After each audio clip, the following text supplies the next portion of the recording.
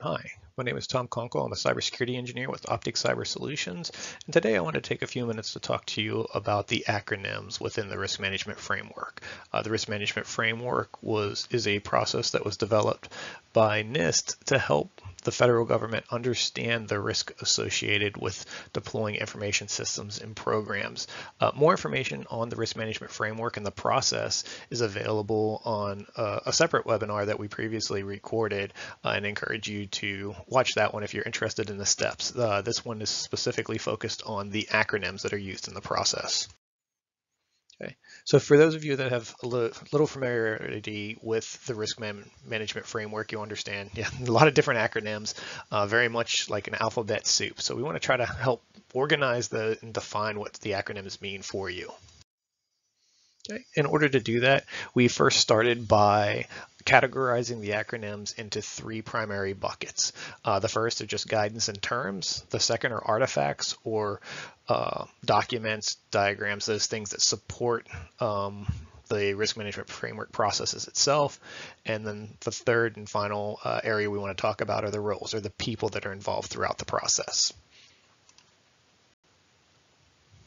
Okay, so to just get started, uh, we'll just start here with the guidance and term acronyms uh, in alphabetical order. And we see first off, we have authorization to operate or ATO. ATO is typically a memorandum uh, that defines or gives an organization authority to operate their system. Uh, typically an ATO will define any parameters for that operation, such as, you know, if it's a pilot system that it may only operate for six months, or if it's an operational system that's supposed to long-term uh, operate for long term, uh, that'll be documented in the ATO as well.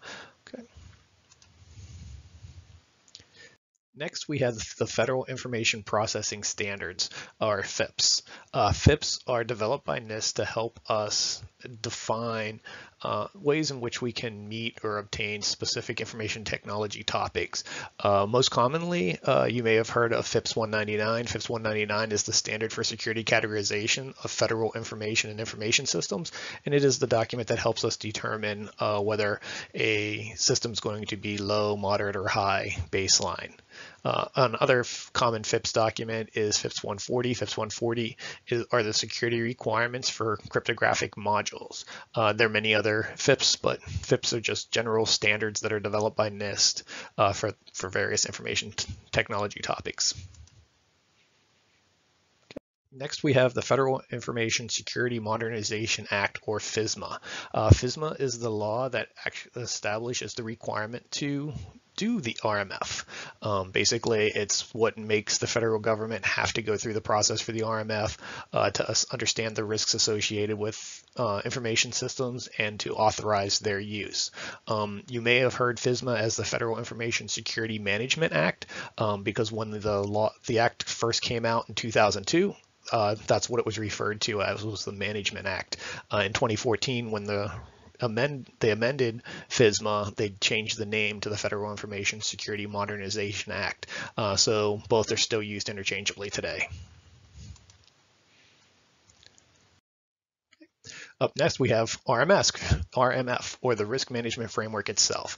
Uh, the RMF is a flexible seven-step process that helps us understand how how to define what security controls need to be implemented, implement those security controls, assess the risk associated with those security controls, and define uh, the requirements for continuing uh, to operate a system securely. Uh, and again, more information is available on the RMF video or uh, as defined in uh, SP 837 Rev 2. PII is personally identify identifiable information or any information that helps us identify a specific individual. Um, some of the examples that you see here include you know, name, birth date, passport number, um, but typically this is the type of information that we want to keep confidential um, so that uh, we can protect individuals' identities. Okay, the last term that we have here is SCA or Security Control Assessment. Security Control Assessment is actually step four of the risk management framework, uh, and it is used to assess the security controls of a information system or program. Next, we have the artifacts. Again, the artifacts are those documents uh, or uh, things that we need to support the risk management framework uh, process itself. Again, alphabetic order, we'll start here with BIA or Business Impact Analysis. Uh, basically, BIA is the analysis that's done to understand the business purpose of a system or a program that's being implemented so that we understand then what are the confidentiality, integrity, and availability requirements for that system. We have a contingency plan. Contingency plan is a plan or a tool that we can use to help manage uh, our information system if something happens. Uh, if we lose a database, right, what is our contingency? Do we have a backup database um, for it? Do we have a hot spare that we can swap in? Um, but the contingency plan defines how are we going to maintain uh, the operations of our systems in the event something happens. And an incident response plan, again, is another tool that helps us understand how are we going to respond to cyber incidents, uh, whether that is uh, a data breach or uh, someone tripping over a power cable and losing access to a server, right? How do we respond to that? It helps us define how we're going to, you know, contain an incident, um, make sure that uh, it doesn't spread throughout the information system, how we get rid of, you know, if there's malware in the system, how we get rid of it, and then how we recover the system in of itself. Um, some incident response plans do have uh, what are referred to as plays within them, and there's specific ways to address very specific types of incidents. Um, for example, an organization might have a, a, play for addressing phishing emails so that whenever they're notified of one of their uh, members being phished, uh, they know exactly what to do and how they're going to respond to that phish and make make sure they contain it uh, and make sure that people don't uh, click on any malicious links or anything that might have been in the email. Next, we have the plan of action and milestones, uh, or POAM. A POAM is a management tool that is used to help us track improvements within a cybersecurity program. Um, so it documents what needs to be, what security controls need to implement, be implemented, the timeline for implementing who's maybe responsible for implementing them, the resources necessary. Um, basically, a POAM is a program management tool um, that is used, base, you know, uh, and developed for an organization to help them track security improvements and make sure that they are properly implemented. A privacy input impact assessment uh, is just that. It's an assessment of the privacy uh, requirements for a system.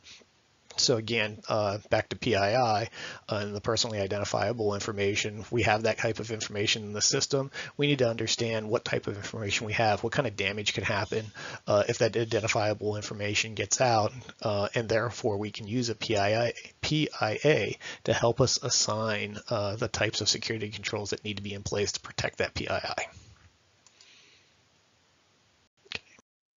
Next up, we have a security assessment plan. Security assessment plan is um, a test plan that's used to help determine how are we going to test the security controls of the system uh, itself. Um, it's typically uh, written using 853A, which defines the guidelines uh, for how to test the security controls within the, a, uh, the special publication 853 security control catalog itself. Okay. The SAR or the Security Assessment Report is the results of conducting the security assessment. So after we've completed a security assessment, um, a security assessment report is uh, drafted to define uh, the results of the testing, which controls are were met, which ones may be partially met, uh, which ones were not met at all. And for those that were either partially met or not met, we take, typically find recommendations on how we can uh, correct uh, the defici deficiency in the security program itself. And then finally, we have here a system security plan. A system security plan is a formal document that defines how we are implementing the security controls within our system. So it lists each of the security controls uh, assigned to the system and uh, how they've been implemented uh, or planned to be implemented or how they're inherited. Um, for example, if you're using a cloud service provider, uh, you may in inherit uh, the physical security of their data center itself, but that would be defined in the SSP. So those are the artifacts. Um, they're some of the key artifacts used within the risk management framework, and then finally we have roles. The first role here is the authorizing official. Authorizing officials or AOs are senior officials within the organization that are responsible for issuing the ATO. Um, so these are the people with the authority to either authorize systems to operate or deny them from operations if the risk is deemed unacceptable um, to the organization uh, because security controls may not be in place, for example. But an, EO, e, an AO is typically that senior official that makes that determination and then Information System Security Engineer or ISSE. ISSEs are the engineers that are responsible for helping us understand how security controls should be implemented within the system. Uh, ISSEs should be engaged very early in the process so that we can help define the security requirements and the approach for implementing them as the system is being defined uh, and we're making those build decisions early in the process, ISSEs are uh, very vital to help uh, make sure that the controls are put in place effectively. Um, as a system's being developed.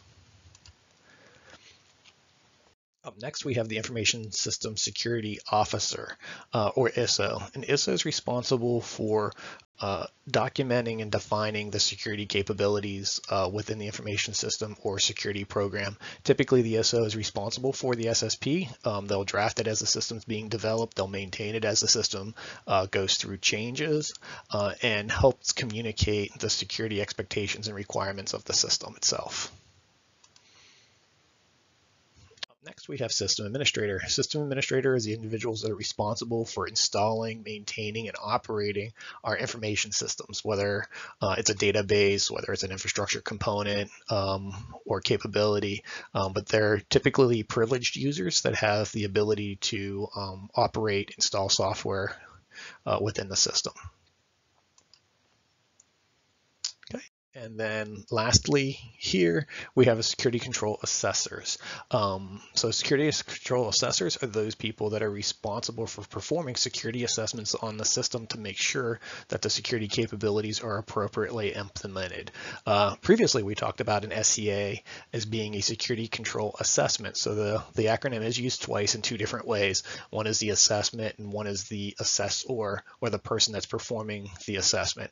Uh, typically, the people performing the assessment assessment will be independent from the organizations that's deploying it, just so that we make sure that we have that separation uh, and no conflict of interest as the system's being tested.